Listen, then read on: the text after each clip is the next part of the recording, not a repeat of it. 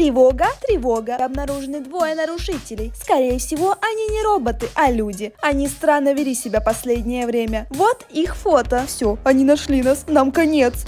Слушай, эти фото сильно размыты, там даже непонятно, что это мы. У нас есть шанс спастись. Как? Будем притворяться очень хорошо, они не найдут нас. Эй, вы двое, вы слышали объявление? Конечно, мы уже ищем этих двоих нарушителей. Мы уже проверили, полшколы, их тут нет. Я думаю, они услышали объявление и сбежали. Так бы поступил любой человек, импульсивно, из-за своих эмоций. Да, ты права, Элизабет, но на всякий случай еще сутки. Мы продолжим поиски. Слышал, они будут искать только сутки и все. Нам надо просто пережить их. Но хотим ли мы этого? О чем ты? Мы последние люди, и мы даже не сможем общаться, потому что всегда окружены роботами. Снова придется 24 на 7 притворяться. Мы по сути и превратились в роботов. Разве это жизнь? Пока мы живы, можно исправить что угодно. И мы сделаем это. Но сначала нужно выжить. Осталось буквально два часа, и они перестанут нас искать.